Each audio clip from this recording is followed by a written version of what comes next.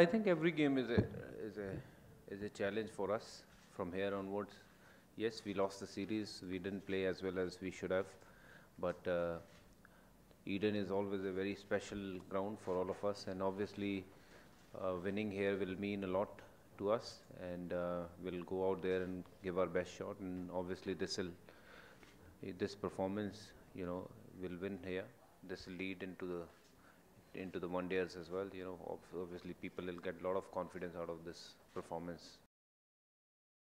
Spin has been India's strength, and uh, obviously we'll be playing the competition in India, and a lot of the tracks will be uh, will be supporting the slower side of bowlers. And uh, if you see uh, the records in IPL and all sort of uh, uh, Twenty20 we play, uh, mostly spinners are the one who actually uh, take lots of wickets and control the run in the in the middle.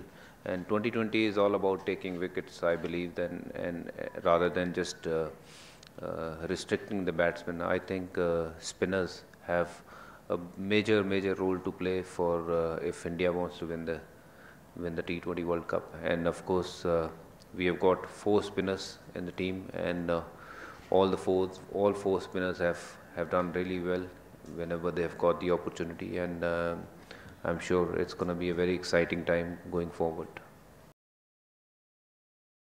Yes, Eden is a very very special place. Uh, you know, coming here, playing cricket in uh, in Eden is always special. This is like, you know, coming home and playing cricket. You know, if people say uh, cricket in England is at Lords is the best, and uh, in India, uh, for me, this is the best place to play cricket. And whenever I played here, I've got some great memories playing here, and hopefully I can continue to uh, do well here. That's all I can do. But uh, one thing will be missing will be Dalmia sir.